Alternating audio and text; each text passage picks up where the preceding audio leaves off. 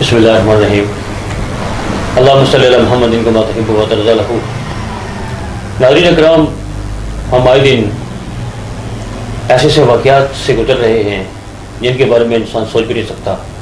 اور ایسا معاشرہ جس میں ہم مسلمان رہتے ہوں اور جہاں پر انسانی حقوق کی خلاف ورزی جو ہے، وہ یعنی اتنا بڑا ظلم ہو، اتنا بڑا یعنی ایک ایشو تصور کیا جائے۔ کہ ایک شخص اگر بیمار ہو جاتا ہے تو اس کو اس کی بیمار کرسی کرنے کے لیے اگر آپ جاتے ہیں، تو ستر ہزار فرشتہ آپ کے لیے دعا کرتا ہے۔ ہمارے اسلام میں تو یہ فرمایا گیا ہے اور کوئی بھی بندہ جب میٹرک لیول تک پہنچ جاتا ہے تو وہ اتنا اس کے اندر روشناس ضرور ہو جاتا ہے وہ کہ اگر اس کے خلاف کوئی بات کرے تو وہ اپنی غلطی پر ندامت کا ادا کرتا ہے۔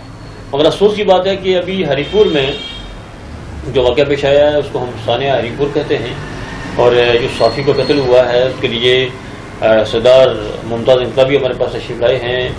آپ international journalist council of Pakistan کے صدر بھی ہیں۔ اور ایک بڑے ہیومن رائٹس ایکٹیوسٹ ہیں۔ السلام علیکم جناب۔ وعلیکم جناب صدار صاحب یہ بڑا مسئلہ ہے۔ آئے دن صحافیوں کا قتل ہو رہا ہے۔ لوگوں کے مسائل سے جان نہیں چھوٹ رہی۔ اور صحافی خود جو بیچارے سچ کے لیے باہر نکلتے ہیں وہی وہی مارے جا رہے ہیں۔ کب تک یہ معاشرہ ہمارا یہ چیز برداشت کرے گا؟ کب تک ہم لوگ اس اس اس سچویشن سے گزرتے رہیں گے؟ بہت شکریہ اشراق احمد ہاشمی صاحب۔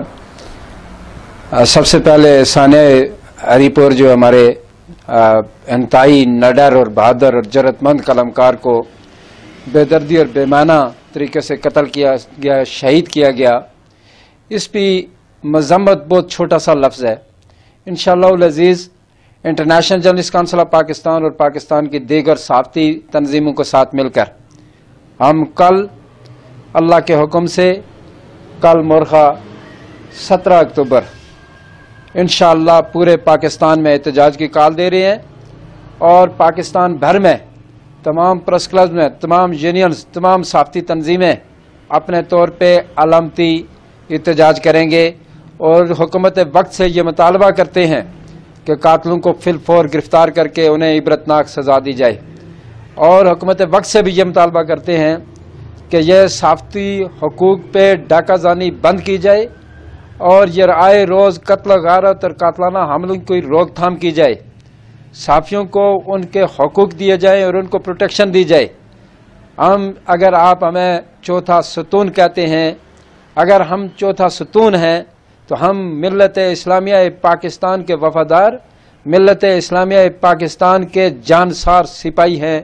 ہم ملت اسلامیہ پاکستان کی مسلح افواج کے شانہ بشانہ ہیں، ہم اداروں کے شانہ بشانہ ہیں، مگر کوئی لنڈا، بچیرا اور بدماش ہمارے ساتھیوں کی طرف اگر کوئی میلی آنکھ سے دیکھے گا تو آپ صافی کہیں کمزور اور اتنے بزدل نہیں ہیں۔ وہ انشاءاللہ تعالی آپ کے جواب دیں گے اور ان کا جواب پتھر سے دیں گے۔ ہم تمام جماعتوں سے یہ گزارش کرتے ہیں کہ وہ ہمارے اس احتجاجی کال کا حصہ بنے اور حکومت وقت کو ہم یہ پھر متنبع کرنا چاہتے ہیں کہ قاتلوں کو گرفتار کر کے انہیں عبرتناک سزا دی جائے۔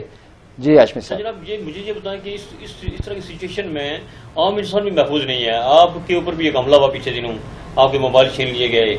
اس کے بعد یہ کہ آپ، میں تو سمجھتا ہوں کہ آپ بہت زیادہ محتاط رہنے کی ضرورت ہے چونکہ آپ ہر آدمی کی مدد کے لیے نکلے ہوئے ہیں۔ ابھی دیکھیں باغ میں جو واقعہ پیش آیا وہاں بھی آپ پیش پیش ہیں۔ میرے سامنے ابھی لگاتار آپ لگے ہوئے ہیں کھانا آپ نے نہیں کھایا۔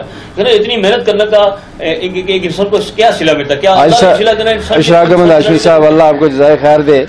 میں ہمارا اپنا ضمیر مطمئن ہے۔ ابھی مجھے اس جو ہمارے شہید صحافت کے قتل کے فوراً بعد آزاد کشمیر بھمر سے کال آئی کہ ہم پہ قاتلانہ حملہ ہوا اور بڑی مشکل سے جان بچا کے ہم گھر پہنچے۔ میرا دل خون کے آنسو رو رہا تھا۔ اور میں اس کو پوسٹ اس لیے نہیں کر رہا تھا کہ ایک بہت بڑا معاملہ چل رہا ہے۔ اللہ نے اس کی جان بچائی ہوئی ہے وہ گھر پہنچ گئے ہیں۔ میں انتظامیہ کو بھی متنوع کر چکا ہوں آزاد کشمیر حکومت کو بھی بتا چکا ہوں اور ان کی اس آواز کو بھی میں حکومتی اداروں تک پہنچا چکا ہوں۔ مگر میں نے یہ میں جو یہ یہ جو کام کر رہے ہیں ہم صافتی حقوق کے لیے ہیومن رائٹس کے لیے انسانی حقوق کے لیے ہاشمی صاحب ہمارے اندر کا دل اندر کا ضمیر اندر کا انسان مطمئن ہے۔ اور میں آج اپنے انٹرنیشنل جرنلسٹ کونسل کے کچھ سینکڑوں کے حساب سے گروپس ہیں۔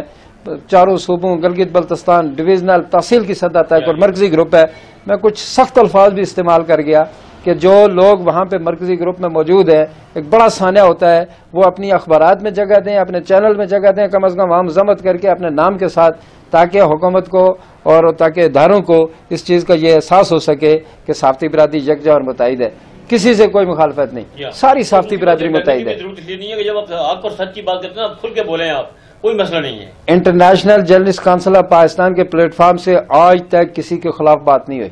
بہت خوش آمدید کہتے ہیں جب ساتھی ہمارے ساتھ آتے ہیں ان کو ویلکم کہتے ہیں۔ آج تک کسی کی یہ پوسٹ نہیں ہے کہ اس کو نکال دیا گیا یا وہ اس کو وہ اس کو فارغ کر دیا گیا۔ میں یہ کہ آپ کو بتاؤں کہ ہم ہمیشہ ہمیشہ ہم ہمیشہ جواب دیتے ہیں۔ ہم سوال نہیں کرتے۔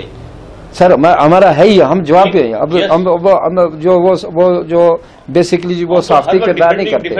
ڈیفینڈنگ پوزیشن میں ہوتے ہیں۔ بالکل ڈیفینڈنگ پوزیشن میں ہوتے ہیں. اللہ آپ کو جزائے خیر دے۔ آپ کا بڑا کردار ہے آپ کا بھی۔ آپ نے انسانی حقوق کے لیے اور international journalist council of Pakistan کے لیے بڑا کردار ادا کیا ہے۔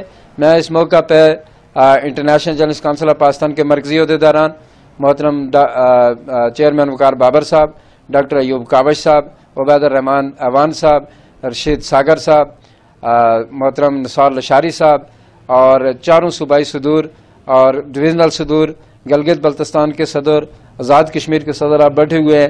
انٹرنیشنل اوورسیز کے تمام دنیا کے پینتالیس ممالک کے ہمارے صدور ہمارے ساتھ اس وقت موجود ہیں اور سب نے متفقہ طور پہ یہ فیصلہ کیا ہے کہ کل علامتی ہڑتال کریں گے اور انشاءاللہ اس پہ اس کے بعد تسلسل سے ان شاء اللہ تعالیٰ ہم احتجاج بلند کریں گے۔